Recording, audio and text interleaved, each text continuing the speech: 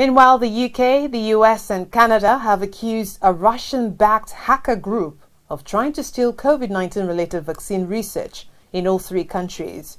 According to intelligence agencies from the affected countries, the hacker group known as APT 29 or Cozy Bear and the Dukies is also responsible for hacking the Democratic National Committee before the 2016 US elections.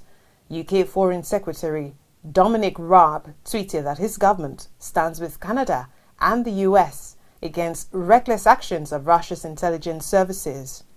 Meanwhile, Dmitry Peskov, spokesperson to Russian President Vladimir Putin, has denied the allegations, saying they're not backed up by proper evidence.